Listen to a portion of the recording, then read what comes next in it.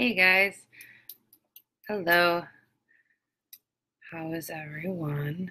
Um, this is our eighth installment of Manic Mutt Mondays, uh, Dog Training Live Q&A. I'm actually almost on time this time. Almost. Getting better. Getting better. Um, my name is Kelly Zink, and I am a dog trainer in Minnesota. I specialize in pet dog training, off leash obedience, and behavior modification. This is again a live Q&A. So if you have any questions, you can definitely go ahead and ask. I will um, also be discussing a few things. I already I have two questions already. Uh, but if you happen to jump on and you want to ask your own, feel free. I might not answer it right away, but I'll get to it as soon as uh, as soon as I'm done with these. Uh, I have two questions, and then I did post a video earlier. There's a video that has been going around. I think it's been all over my newsfeed, uh, shared. I think like some 600 times of uh, what looks like a little bulldog, uh, like attacking a. I don't mean to laugh. I shouldn't laugh. That's not that's not nice to laugh. Um, but this little bulldog is all out really manhandling this this daycare employee. Um, I'm going to put the video up actually, and we'll just go ahead and start and talk about that. Um, so the URL is in the comments if you wanted to watch the video. Um, but a few things. So it's been all over, and I think it's been shared by a ton of other dog trainers. Uh, first of all, I'm not surprised it's a bulldog. Uh, bulldogs have uh, are really known for their obsessiveness, right? Obsessive compulsive. They tend not to let go. They never say die. They are one of the few breeds out there that actually were bred to fight, legitly bred to fight all the way back until the 1600s. So, uh, you've got about you know five six hundred years of, of genetics behind them.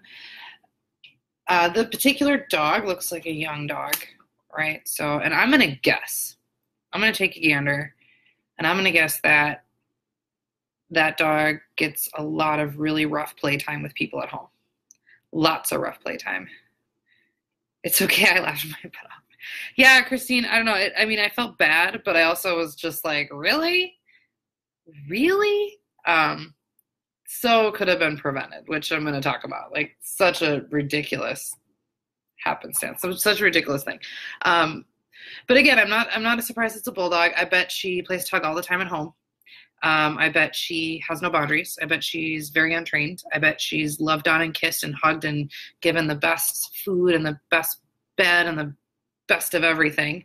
Um, and she clearly did not understand that the game was over right? I do think that in the beginning it started off as a game of tug it started off as a game. You know i don't think that she was all attempting to cause harm at least in the beginning uh, as it progressed. I think uh, she got a little away with you know got away from herself a little bit. Uh, the grabbing at the hands you know that's that, that's pretty heavy. But it's obviously not the first time she's practiced that behavior.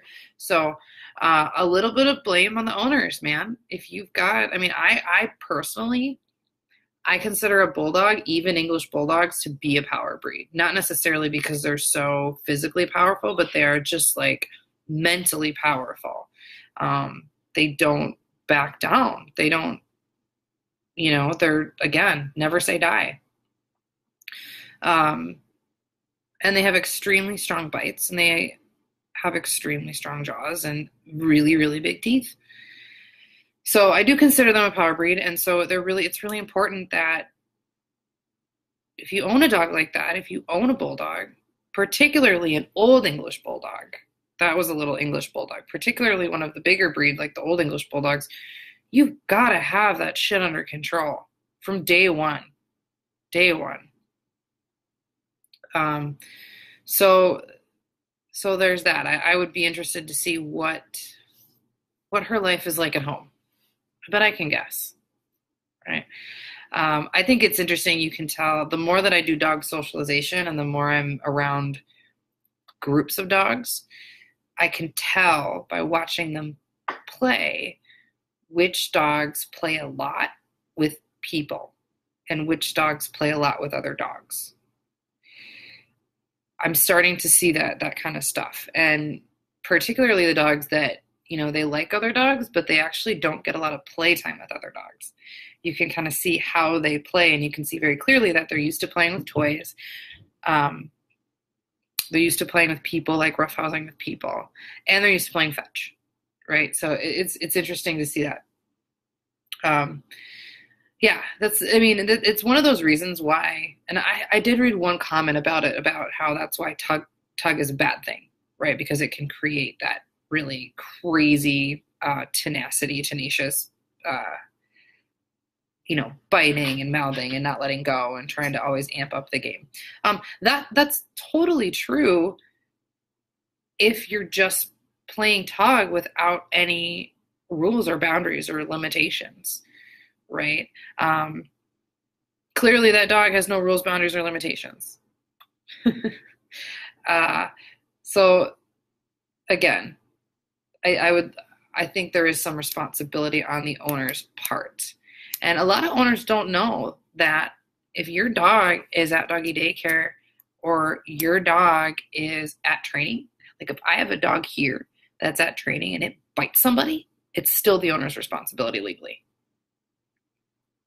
So, um, how you relate to your dog at home is how your dog's going to relate to the world.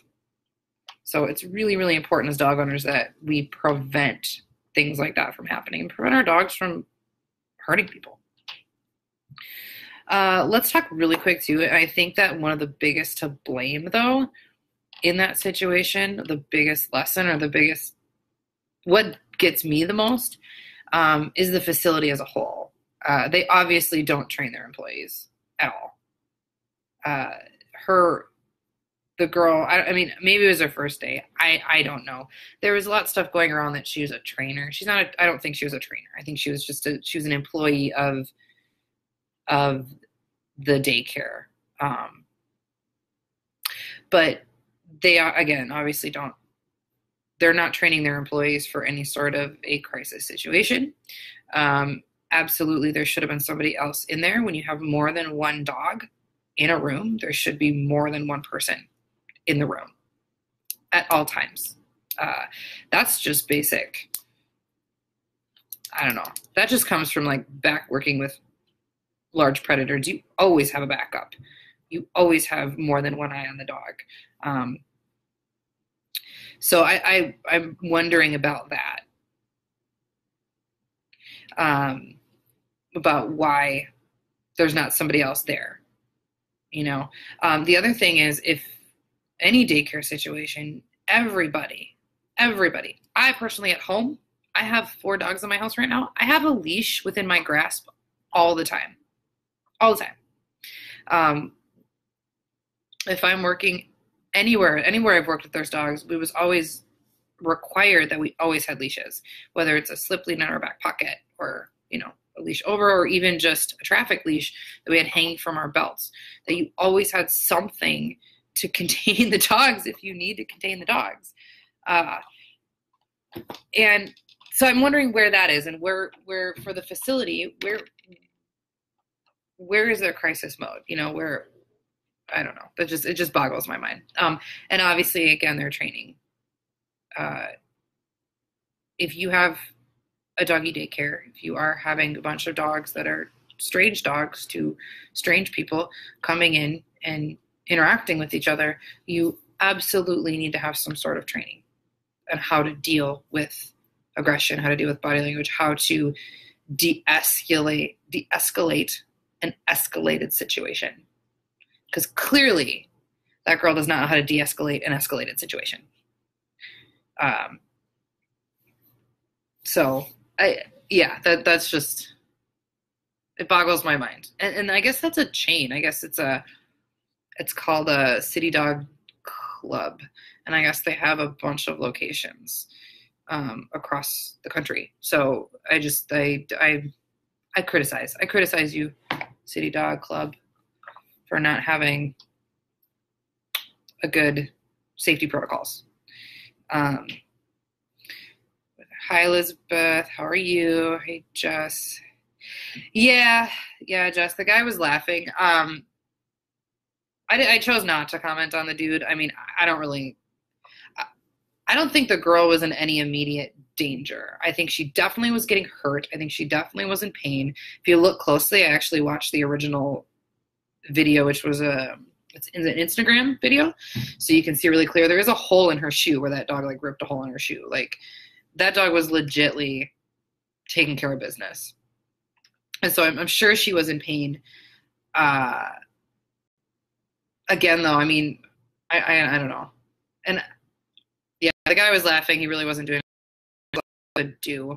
I don't think he should have been laughing at her for sure, but I don't think there's a whole lot he could do. He was he was an obvious uh, uh, spectator, a public, you know, a civilian.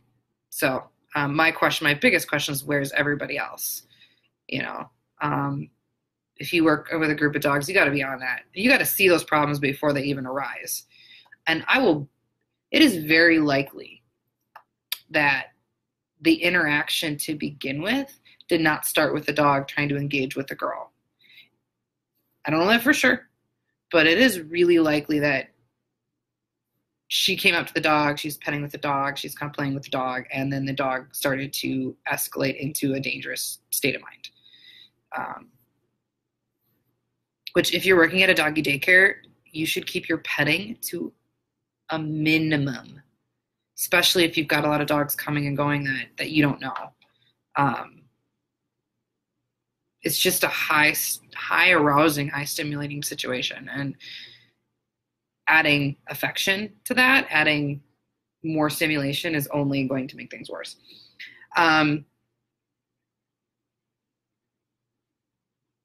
yeah, I mean, they obviously don't train their employees. I don't know what else to say about that. Um, the situation could have definitely been completely different based on the girl's interact, like the girl's decision and her actions. Uh, I, I don't, you know, if you're the number one for me, like I think the biggest thing when I first saw it is is that she's on the floor. Never get on the floor. Never, ever get on the floor in front of predators. I don't care I don't care. like if it's dogs, um, especially dogs you don't know, you know, uh, never, ever, ever get on the floor. Let yourself be on the floor. Um, plenty of times she could have jumped up and I think dove over the side of that gate. You know, when you're when you're in danger like that, it's number one, stop the animal for long enough to get away. And you should have pepper spray. but no. Um, yeah, I mean, just just neutralize the animal long enough to get away, and and that's pretty much it. Um, I don't.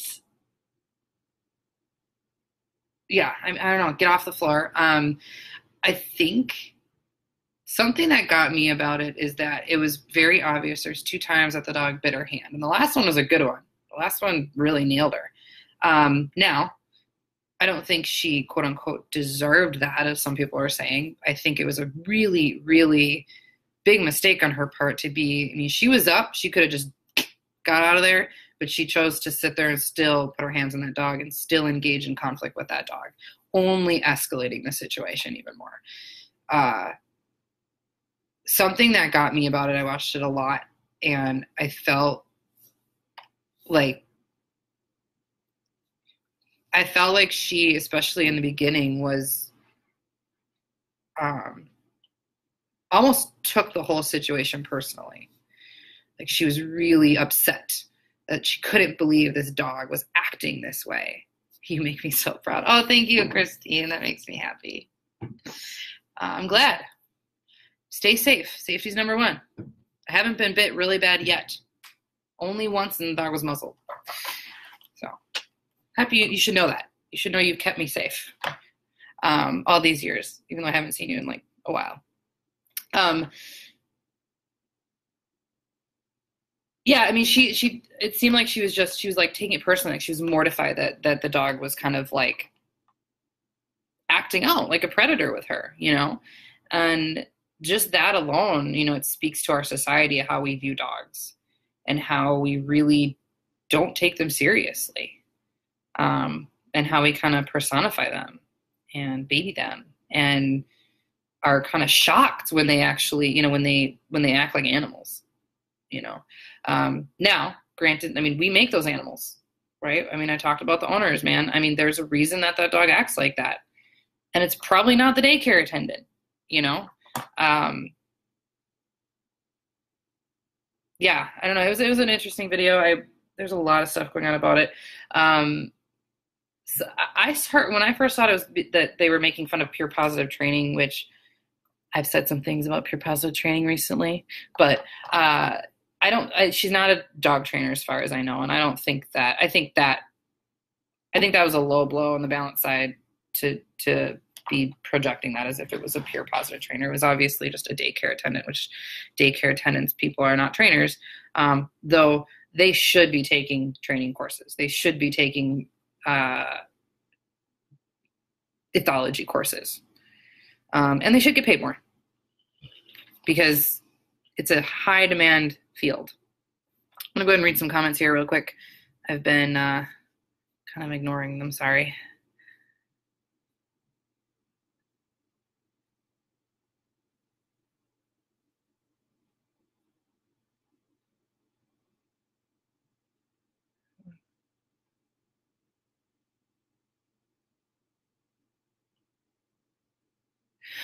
Um, just as or said, commented, um, we went to a craft fair yesterday. Lots of people bringing their dogs. About half the dogs were not concerned with people or dogs around them. The other half of the dogs went nuts if another dog walked near them. If your dog isn't well with other dogs, should they be brought to an event like that? They didn't seem to be training or working with them from what I saw. Yeah, no. Um, no, no, the answer is no. They shouldn't be out. If they're not comfortable, they shouldn't be out to events like that. Um, I think that's another issue of our society with dogs is that we don't, you know, um, we ignore our dogs' needs. Um, I can tell you that two of my dogs do not have want anything to do with going out to a crowd or going out to an event or going to a pack walk with a bunch of dogs or or any anything like that. They they do not want to do that. They don't like it. It's too much for them. Uh, one of them doesn't like people. One of them doesn't like other dogs. Um, and not that they don't like other dogs. It's not that they don't they don't enjoy socializing with other dogs but they don't want to go out to a place where there's going to be a bunch of dogs that aren't controlled. You know um for sure that that's you know i i wouldn't bring my dogs out and if now my foster the malinois could definitely go out to an event like that because she would just ignore she wouldn't care. I mean a dog could bark at her face and she'd be like you know she'd look up at me and be like can we leave please? Because that guy sucks which cool. Um, you know, she's a dog that you can take out. But I think that people, you know, they think, oh, I'm going to take my dog out because it's cool, or they think their dog wants to, and they don't realize how stressful the situation can be. Um, particularly if the dog never goes out. You know, if like the dog's been cooped up for the last nine months in the house and in the backyard, and then you decide you're going to take him to a craft show, I mean, it's going to freak the dog out. the dog's going to have no idea what's going on and very likely be uh, act outrageously, you know, because mm-hmm. you just kind of basically threw him, you know, threw him out in left field. And um, so, yeah, no, you're right, Jess. No, I don't. I don't think they should. I think if you want to be able to bring your dogs out in public, you need to start slow. You need to make sure your dog's really good on walks. You need to make sure your dog can pass other dogs with no problem first. You need to work on engagement. Um, you need to bring your. You need to give your dog an outlet too, which is huge, huge is if you're going to go out to like a public event like that, spend an hour at the public event and then take your dog out somewhere and get, take them for a run. You know, play tug with them maybe if you can play tug without your dog eating a daycare attendant. Um, and uh, let them kind of burn that off, you know, because it's it's a lot for them. It's it's it's a lot. Just because your dog's not doing anything, it still is a lot. Um, you know, and I think people don't read their dogs well enough and they don't understand and and they don't take the time to prepare their dog for uh for life really sometimes i think you know? Um jess says i was surprised how many dogs like that i saw at a busy event. Lots of people and dogs. I th- i think it's becoming just like a normal thing you know? Which is sad which is not not good.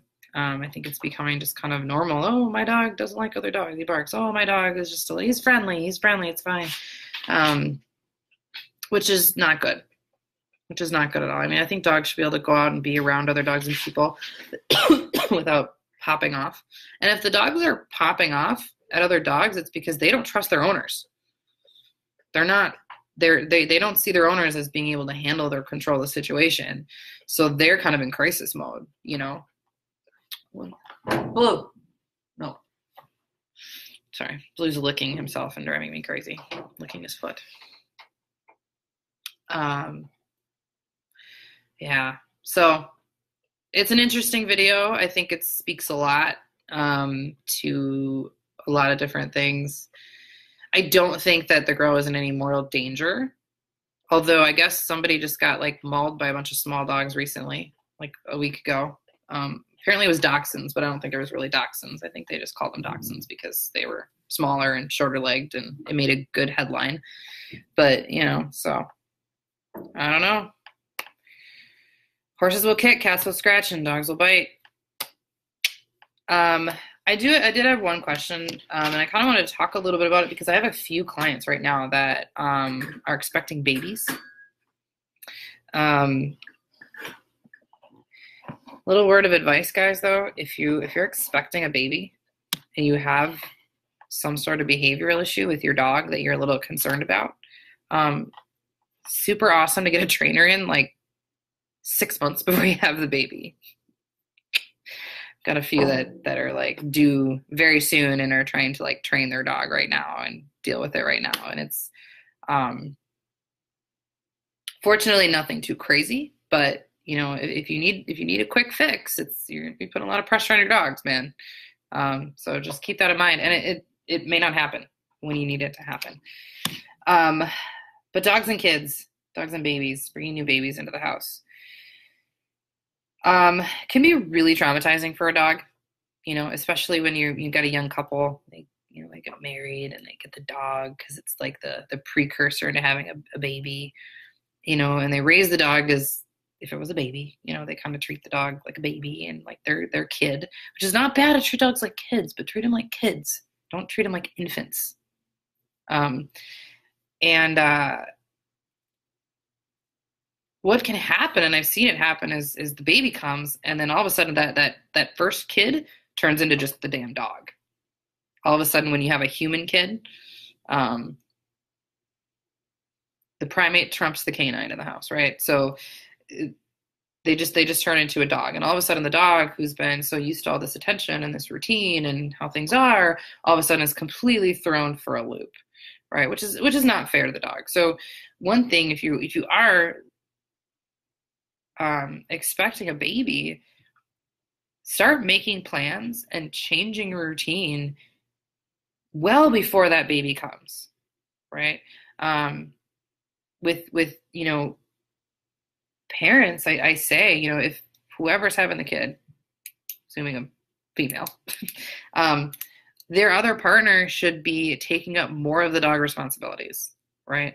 And who's ever having the, the baby should be start should excuse me, should start kind of ignoring the dog a lot more, holding back on affection a lot, kind of being very um, neutral with the dog, right? Because what's going to happen when baby comes is they're going to be ignoring the dog a lot. they're going to be neutral with the dog.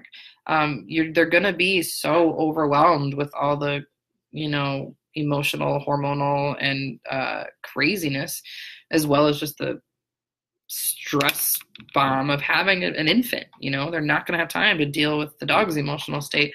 So it's best to just prepare the dog right away. Prepare the dog um, sooner than later, so so that it's not that big of a deal, right? Um,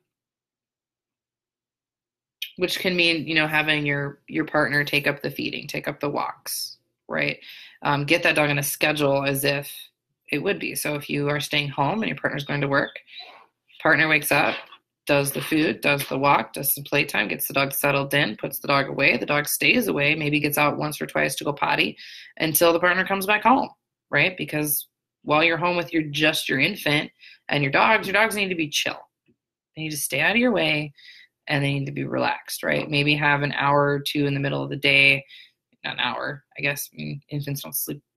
Kind of need a lot. So, you know, a 15 minutes here, 15 minutes there to go outside, run around a little bit, and then come back in and be on place or be in the kennel or just be chill um, until the partner comes home, and then they can do dinner and they can do run around, they can go for walks, and they can get the dogs kind of settled into bed. Um, that is the best schedule if you have a baby in the house um, or, or, a new baby in the house. One of the biggest mistakes and the scariest things that we see as dog trainers is uh, when new parents allow their dog to be too close and involved with that baby. Scariest Facebook Facebook videos ever. Freaking scary is when you've got the, the, big dog and the baby and their head right here and they're like licking the baby and then they're looking at mom and the dog's like freaked out really. The dog's like like kind of looking for attention because they're not really sure what's going on. And you're like oh it's your little brother. Oh you're so cute.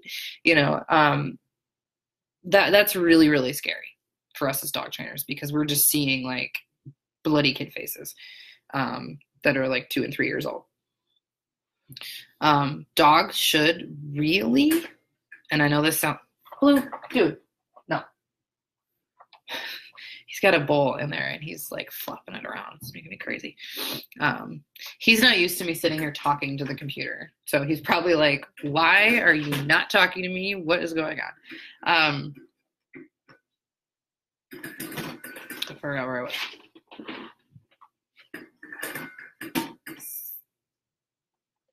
Um, yeah, so one of the biggest mistakes is being too involved. Really, the dog should not be involved with that baby, right? That baby is your baby. Uh, you should be the boss of the house, right? You are the guide or director and protector. Um, that baby is yours, so the dog should really have not a whole lot to do with that baby, right? Um, not only that, but the dog should really respect the baby. And what I mean by respect is by giving that baby a lot of space, right? If I'm hold sitting here on the baby, dog's not allowed to come up. Dog needs to give me space, right? If I put the baby on the floor in a blankie, dog needs to stay away from that baby, right?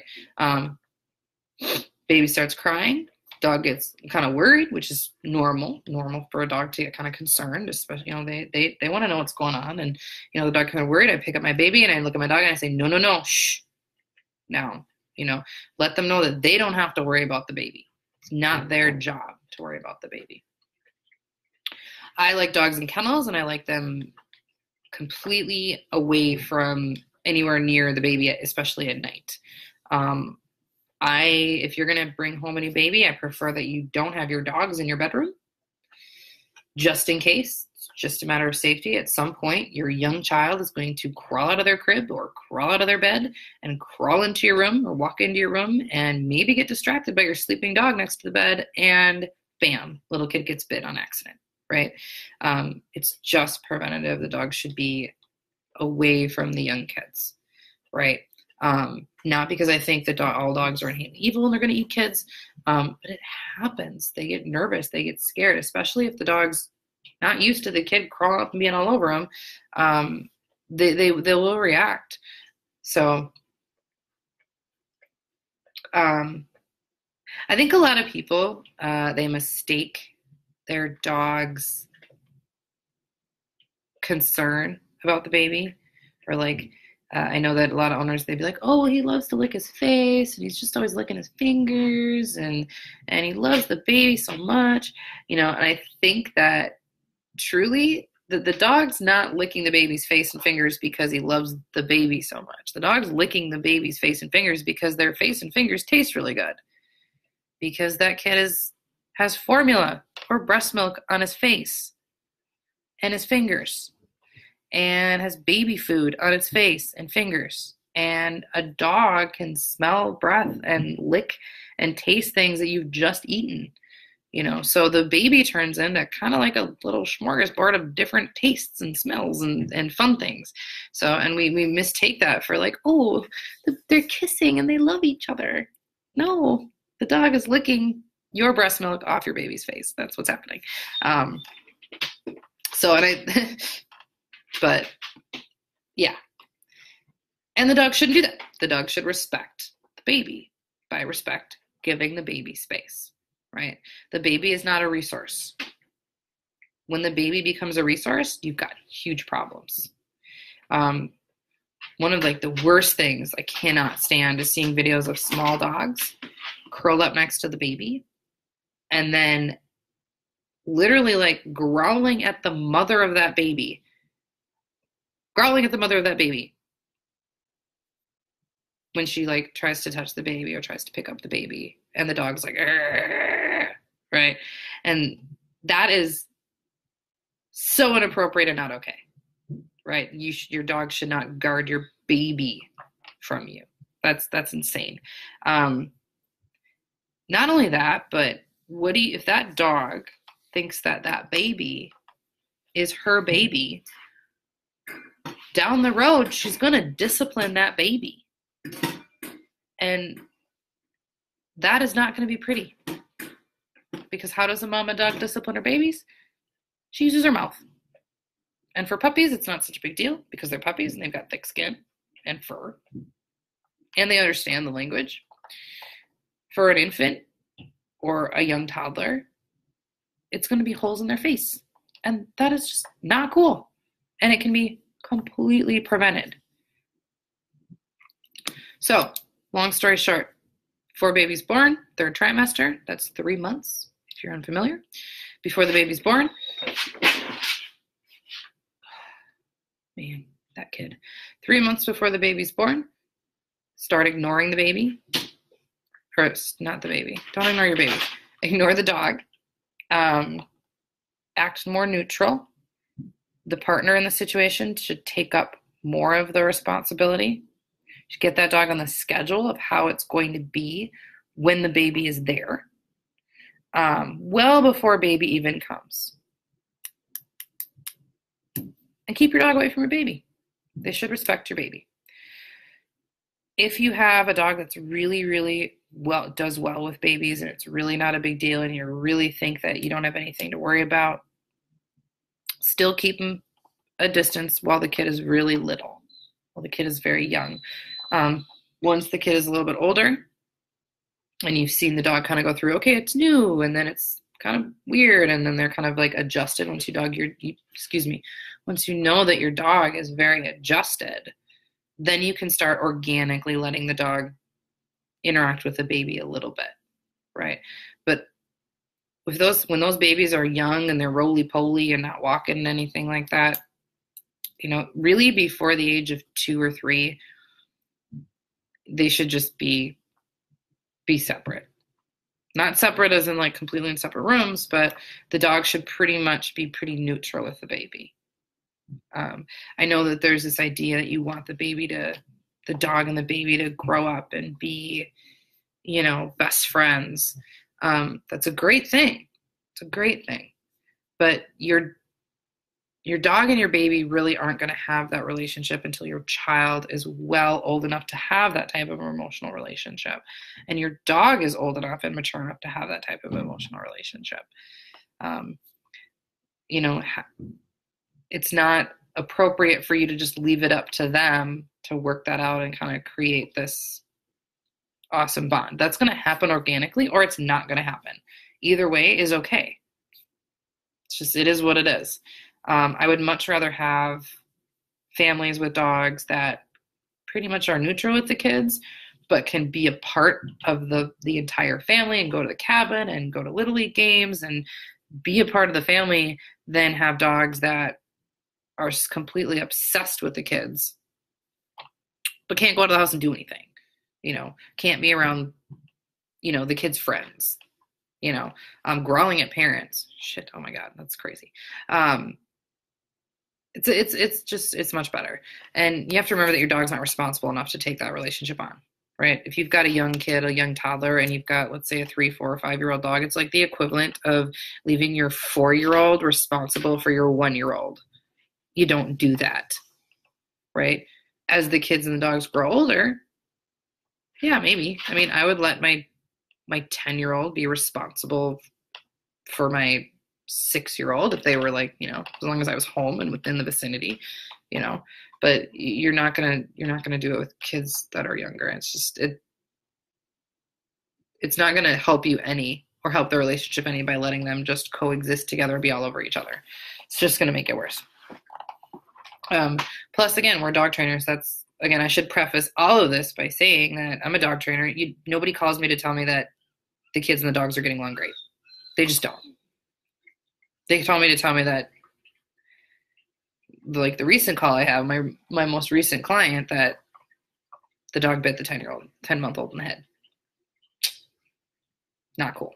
Um, I also had another client that had a the dog was about a year old and the kid was like six and they got the dog as a puppy they had they adopted it from a rescue dog and the kid were just roly poly together all the time, like wrestling constantly, constantly physical with each other, constantly together. And their parents were so excited because they had, you know, this great relationship. And one day the, the dog was chewing on a bone, and the kid came over and laid down next to the dog, didn't touch the dog, but laid down next to the dog with uh, a toy, and the dog turned and snapped and bit the kid in the head. Right. Um, and what happened was that because that dog and that kid were always so physical, that's what that relationship meant to that dog, right? That's what that the relationship was. You're my equal. We play. We're brothers, for lack of a better word. It's not really what the dog thought, but the the dog saw them as equals, right, as friends, and their relationship represented a physical relationship. So when he had something that he wanted to keep to himself and he wanted some space, and the kid comes on and is near him because that relationship represents physical wrestling, the dog was proactive and wanted to prevent that. No, I want to be over here with my thing. I want you to get away. Boom. Right. And if that kid was another dog, that would have been a very appropriate response.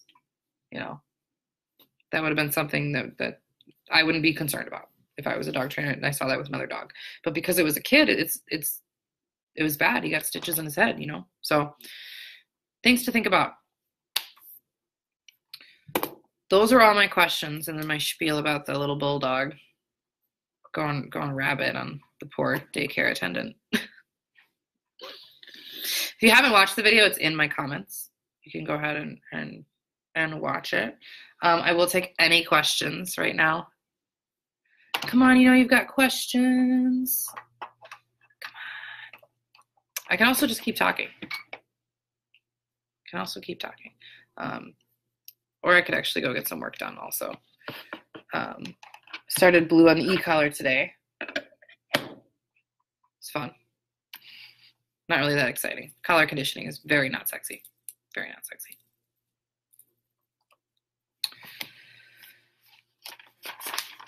All right, y'all. Well, if I don't have any other questions, I'm going to go ahead and cut this short. I uh, got some work to do. Um, please like this and share this if you like what you heard. Um, again, my name is Kelly with Good Dogs Minnesota. Um, and we will be on next Monday for uh, our ninth installment, I suppose. Thomas is tripping over Thor's place. uh, well, he's so damn big. What can you do?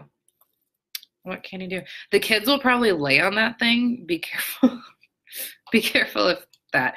That's the one thing I have about those places. Like any um, pet cots, is that for little kids they look like trampolines. So I, it's a constant battle in my house to get off of the place cot. They don't listen. I don't know. So.